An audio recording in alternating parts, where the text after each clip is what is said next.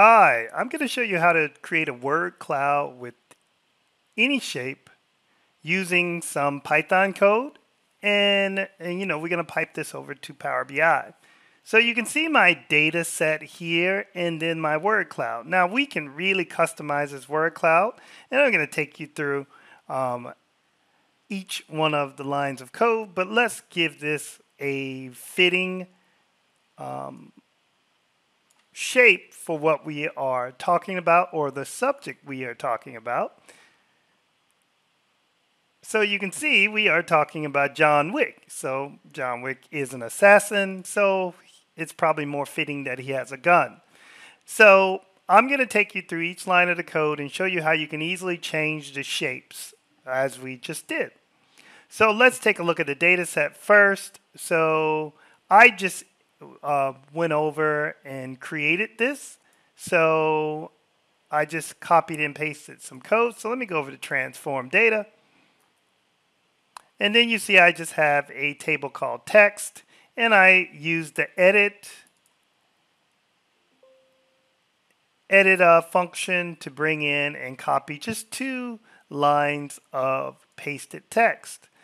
And that gives me the ability to bring in the data from those two lines. So you could have as many lines as you want, but let me just show you how we pull this together. So I'm going to click on the image that we brought in with some Python visual. I am going to bring this up.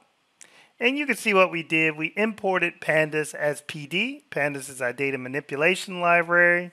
Now you usually don't need to bring this in because it's usually brought in when you do the, um, the Python script editor here. I imported NumPy as NP. Uh, then I imported matplotlib as PLT. Now that's going to be um, necessary for you to show anything when you are using that Python script. Then I, from PIL, which is uh, pillow, I imported image, and that image is there so I can actually bring in the shape. So then from word cloud, I imported word cloud and stop words. And this is going to allow us to actually make the word cloud. Then I created a variable which is stop words. So I can easily add stop words to it. Then for this, I need a mask. So that mask is going to use that image that we brought in and allow me to bring in any shape in a PNG format. Now that shape needs to be in a specific format uh, for you to actually show it and I'll show you in one second after I go through the code. So then we use a mask and turn that into an array of values using that numpy variable and then we load in the gun. So then we use word cloud and we provide it with a host of parameters. You can see I use a white background, so it's going to give me a white background. I set the max words to bring in as 2000, but you can change this. So for the mask, I bring in that image that we open up with that function, and I brought in gun. Then for stop words, they are a list of words that I put here. So you can bring in any that you want to remove. And this is similar to what you do when you're creating a word cloud in uh, your Power BI notebook. Then to get this contour, I use a contour color black. And then the width, I made it quite thick with 5. Then we generate the word cloud based on the text that we join. So you can see there's two lines here. So I used a space and I joined these two rows of text and isolated the column because the column is called text. So, and that allowed me to just bring in all of the wording here. And then once we do that, we can use the function wordCloud.generate text because I saved it in the variable here. Then we use word cloud and we use interpolation, which is bilinear, which just gives you two directions, as you see. And we took off the axis because the axis actually has um, some numbers to it. And then we use plt.show to show the word cloud. So let me show you one of the images that I brought in. So as you see, this is a gun. And all I did was use a snipping tool. And you see you have a white background. And then you have a black image. And that's going to work really well. So I can bring in a few more things. I think I have fruit here for an apple or a banana, I think it is. So if I run that, you can see now you have a banana. And I'm not sure what else I brought in. I think I brought in an apple. So let's bring that in. And you can see that shape will change and you will get that word cloud each time. So this is just a really easy way for you to kind of make your word clouds a little bit more interesting and maybe make them a little bit more suitable for the text that you are uh, bringing together. Um, now, you in this bracket here, if you didn't want to see John Wick, you would just add another word here. For example, Wick. And let's also add John.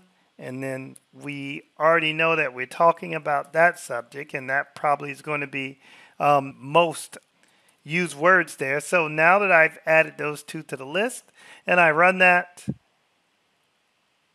now you can see you get the words there, and you can see the words that are used the most are combat, hand, and assassin. And from the second movie, you got D'Antonio.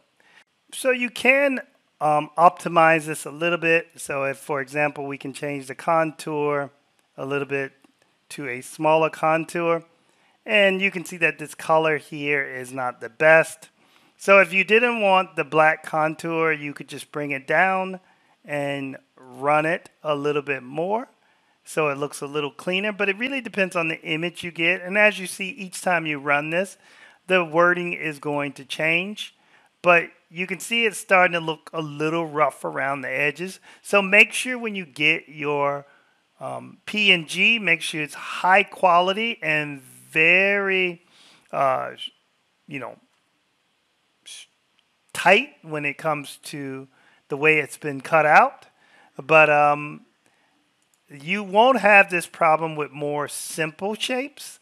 For example, we looked at the apple and the fruit. But when you start getting into more complex shapes, it gets a little um, ruddy. So you can play around with the colors and the contour to kind of get the way you want things to look. And also, um, you can mess around and with the different selections to see if you get a different set of wording there because that data set is going to change each time you select one of those rows because it's filtering the underlining data. So don't hesitate to play around with this word cloud. It is selectable. So I hope that helps you to get a better idea of how to maybe spice up some of your word clouds. Thank you. Hey everyone. Thanks for tuning in to Enterprise DNA TV. If you enjoyed the content covered in this particular tutorial, please throw the video a like. It really helps us and we really appreciate it. Also, don't forget to subscribe to the Enterprise DNA TV channel. Uh, we have a huge amount of content coming out all the time from myself and a range of content creators, uh, all dedicated to improving the way that you use Power BI and the Power Platform. Lastly, check out Enterprise DNA's website, plenty of resources and further learning that you can access very easily. All the best. Take care.